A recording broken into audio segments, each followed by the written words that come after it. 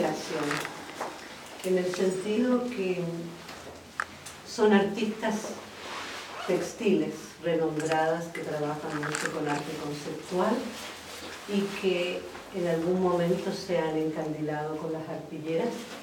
Y las de cuarta generación son aquellas en que yo a dos o tres de estas artistas les mando el concepto de la próxima exposición y las invito que si quieren hacer algo, pero no les doy el tema, solo saben el concepto, un par de frases, dónde va a ser la exposición y ellas es prácticamente una comisión, pero no que se diga que se va a hacer.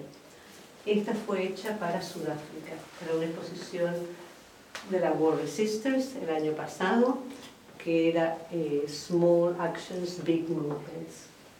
Más o menos el tema de ustedes.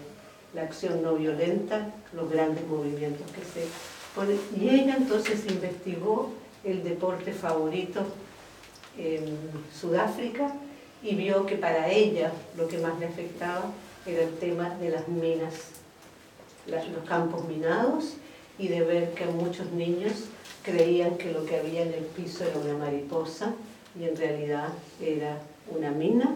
Y entonces ella se imagina un partido de fútbol con niños sobrevivientes de un campo minado.